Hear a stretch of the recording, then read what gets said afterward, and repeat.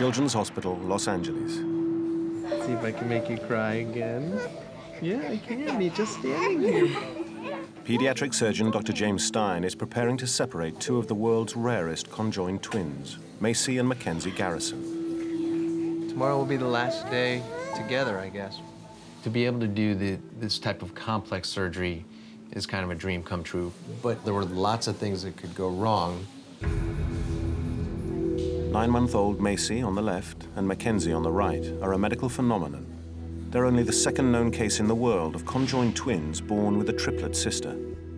They were adopted by Darla and Jeff Garrison as much longed-for daughters when they were just nine months old.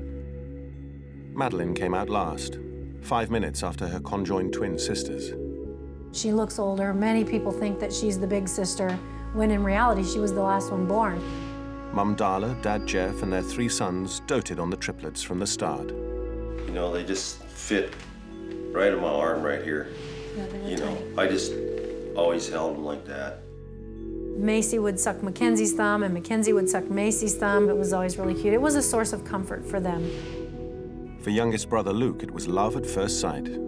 I almost cried because I didn't really know what to think. Like, oh my gosh, I have sisters. To prepare for surgery, the medical team is stretching Macy and Mackenzie's skin. They'll use the extra tissue to help close their wounds.